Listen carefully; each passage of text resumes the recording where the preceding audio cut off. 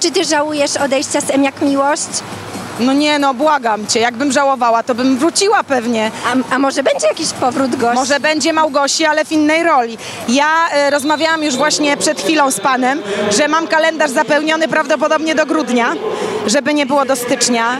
E, robię dwa nowe projekty teatralne, oprócz tego e, jeszcze serial i mam, jestem naprawdę mamą, więc ja muszę sobie dozować przyjemności pracy, a nie brać wszystkiego, dlatego że też przy okazji chciałabym jednak mieć wpływ na moje dzieci.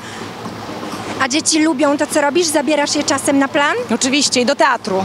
Głównie na plan, na plan jeszcze nie były, ale w teatrze bardzo często bywają z racji prób i różnych rzeczy. I powiem szczerze, że nawet y, oglądały mnie w tym teatrze i to było takie wydarzenie dla mnie niezwykłe i bardzo, bardzo szczególne, bo na przykład jeżeli chodzi o dubbingi, to nagrywałam je jak jeszcze Janka była mała i niewiele pamięta, a teraz głównie mnie widzi w teatrze.